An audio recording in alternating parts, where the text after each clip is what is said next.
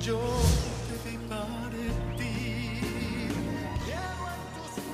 abiertas. Capitán, ¿qué hace aquí? Por lo visto se ha hecho costumbre de que, que le dé las gracias por todo lo que hace por mí. Primero me salva de la cárcel y ahora cubre mi herida. ¿Sabe? Una vez mi padre dijo que no solo bastan las palabras. También hay que tener detalles para demostrar nuestra gratitud. Son para usted. Muchas gracias, capitán. Nunca me imaginé que fuera a tener un gesto así, de este tipo, lindo. Nunca. Vaya, qué tan malo me cree. Pues hay cosas que no conoce de mí, señorita. Soy, aunque no se lo imagine, capaz de tener detalles así y aún más cuando una mujer me lo inspira.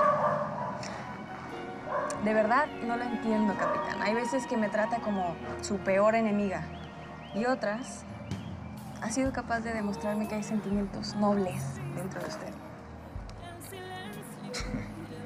Pues este es el verdadero Damián Fabre que no todos conocen.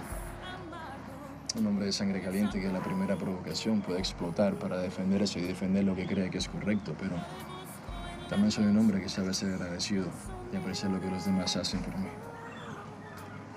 Pues gracias, capitán. Pero tengo que irme, tengo que estar en la empacadora. ¿Está bien?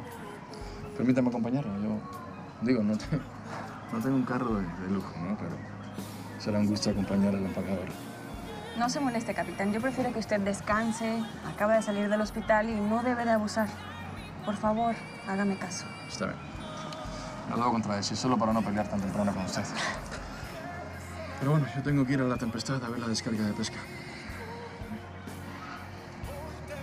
Con su permiso.